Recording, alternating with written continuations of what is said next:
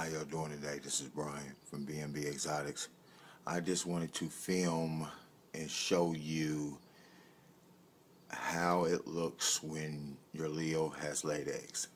Okay.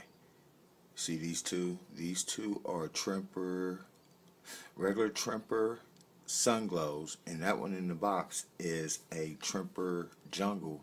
It's a Tangerine Jungle, het for Raptor, and this one here, down there on the bottom, is a Sun Glow, het for Raptor.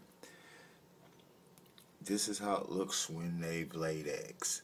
See how it's all pushed over to the back of the bin, of the um, tub, and yeah, I just wanted to record this just to show you how it looks when your animals have laid eggs.